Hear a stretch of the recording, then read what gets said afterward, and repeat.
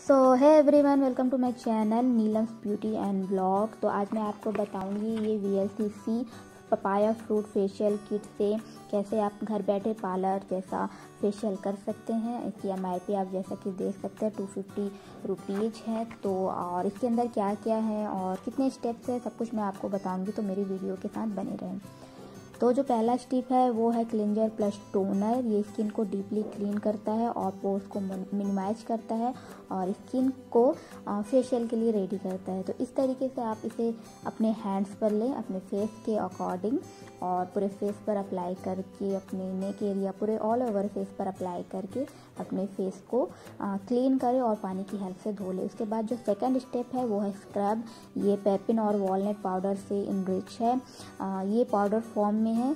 आ, और ये ब्लेमिश और पिगमेंटेशन जैसे जो प्रॉब्लम होती है उनको हटाता है। स्किन को इवन टोन करता है। जैसे जो सन टैनिंग हो जाते हैं उनको क्लीन करता है। तो इसे आप पानी की हेल्प से इसका पेस्ट बना सकते हैं या फिर आप इसमें रोज़ वाटर भी ऐड कर सकते हैं। इसे अपने हैंड्स पर ही लेकर इसका एक पेस्ट बना लें और अपने पूरे फेस और स्पेशली जहाँ जहाँ पर ब्लैक हेड्स होते हैं, वहाँ वहाँ पर अप्लाई करके स्क्रब करें और एक से दो मिनट के बाद स्क्रब करने के बाद आप अपने फेस को वॉश कर लें या फिर एक से दो मिनट के लिए छोड़ दें। एक से दो मिनट के लिए छोड़ने के बाद वॉश कर लें, जिससे ये स्किन के जितने भी डर्ट हो, उन्हें निकाल सकें। तो इस तरीके से स्क्रब करें और फेस वॉश कर लें। जो तीसरा स्टेप है, वो है जेल कुकुम्बर जेल ये वाटरमेलन एंड कुकुम्बर एक्सट्रैक्ट से इनरिच्ड है। ये स्किन को कूल करता है। जो रैसेज और ब्लेमिश होते हैं, उनमें राहत देता है। तो इस जेल को आप अपने फेस पर अप्लाई करें और एक से दो मिनट के लिए छोड़ दें जिससे ये स्किन पर एब्जॉर्ब हो जाए और उसके बाद मस, आप मसाज करके अपना फेस वॉश कर वॉश नहीं करना है सॉरी आपको आ, इसे वेट वाइप्स या फिर एक गीले टावल की हेल्प से इसे पोछ लेना है वो वॉश नहीं करना है आपको इसे। तो इस तरीके से मसाज करें। अब मैंने यहाँ एक वेट वाइप्स लिया है, जैसे कि मैंने बताया, इसे वॉश नहीं करना है, इसे वेट वाइप्स की हेल्प से ही क्लीन करें। या फिर आप टावल को भी गीला करके उसे, उससे अपना फेस को क्लीन कर सकते हैं।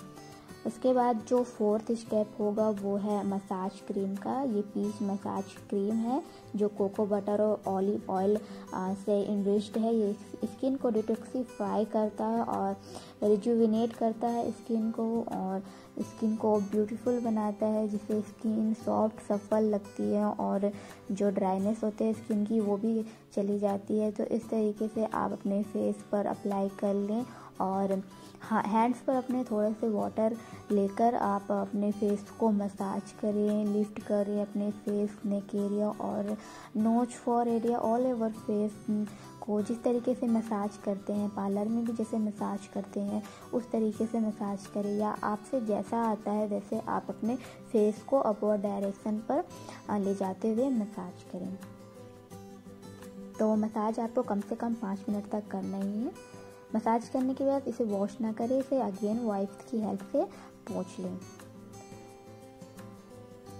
तो उसके बाद जो फिफ्थ स्टेप है, वो है पैक। जो ये है ऑरेंज पील और विटामिन ई से इनरिच्ड ये पैक तो ये रहा ये पैक तो इसे आपको अप्लाई करना है अपने स्किन पर. वेट स्किन पर इसे आपको अप्लाई करना है. तो अपने फेस को हल्का गीला कर लें. इसके बाद इस आ, आ, फेस पैक को अप्लाई करिए. स्किन कॉम्प्लेक्सन को सुधारता है और जो एक्सेस ऑयल होते हैं फेस पे और जो सीबम होते हैं, जो स्किन डल होते हैं, जिसकी, जिनकी स्किन डल होती है, उनको ये रिपेयर करता है। तो ये फेस पैक ऑल ओवर देखा जाए तो बहुत ही अच्छा है। अपने फेस पर अप्लाई करने के बाद इसे 15 मिनट रखें और फिर वॉश कर लें। तो आप देख सकते हैं इसका लाइफ रिज़ल्ट उसके बाद इसके साथ ही मिलता है ये मॉइस्चराइज़र, जो सिक्स स्टेप होगा। ये एस पी एफ़ युक्त और स्किन को हार्मफुल रेज जो हार्मफुल रेज होते हैं, उनसे प्रोटेक्ट करता है। और ये एलोवेरा युक्त हैं। तो ये सीरम आप डे टाइम में भी यूज़ कर सकते हैं। तो ये इस तरीके से इसे मैं अपने हैंड्स पर लूँगी और पूरे फेस पर अप्लाई कर लूँगी। तो ये रही मेरा कंप्लीट स्टेप जितने स्टेप थे सिक्स स्टेप थे जो मैंने बता दिए आपको। तो वीडियो कैसी लगी ज़रूर बताइएगा और कमेंट सेक्शन में जाके कमेंट करना ना भूलें। अगर आप मेरे चैनल पे नए हैं तो मेरे चैनल को सब्सक्राइब कर लें। और अगर मैं इस वीडियो कुछ बेटर तरीके से बता सकती थी तो भी बताएँ। तो आज के लिए इतना ही, मिलते हैं नेक्स्ट वीडियो में। तब तक के लिए बाय